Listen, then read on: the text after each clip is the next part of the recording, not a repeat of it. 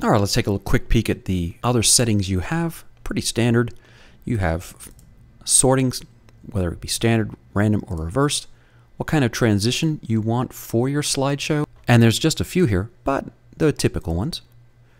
The transition time in milliseconds, and what do you want on your slideshow? Do you want the button? Do you want automatic play, automatic stop? The slide interval, progress bar, uh, which I usually really don't like. Pause on mouse hover, I actually do like. So let's take a quick peek at some of these. The photo info button, you can turn that on or off if you want. You can choose to show the album name, the description. You can protect your images. The fixed aspect ratio is if you've prepared your pictures for that in advance. You can turn off the thumbnails.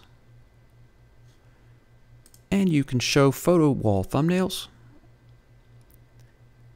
And then here's all of the settings for the photo info pop-up. You can hide any of the actual information on that pop-up we looked at in the last video. And then for the full screen settings, a close link, which could be the URL for a redirect when the user closed the full screen slideshow. Now there is a map view here. We're going to experiment with a little bit of that in another video. I'm just going to click Save, come back over to my photo gallery and hit refresh.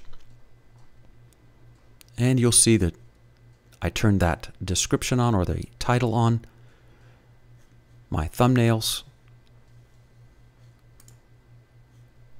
and again the full screen button with the Warbirds over Indiana now placed nicely there. These are some of the things that you can see the changes to the settings that we had from our options.